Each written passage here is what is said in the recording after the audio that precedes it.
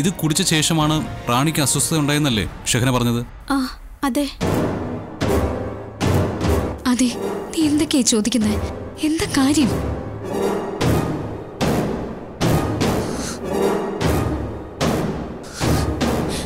ആരും എന്താ എന്നോട് ഒന്നും വ്യക്തമായിട്ട് പറയാത്തത്?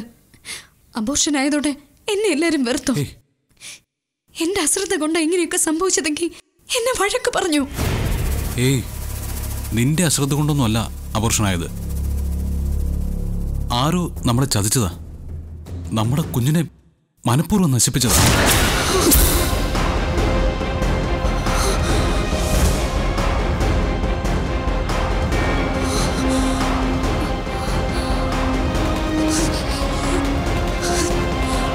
അതെ.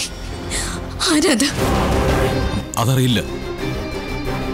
നിന്റെ വയറ്റിൽ അബോർഷന്റെ ഗുളിക ചെന്നിട്ടാ.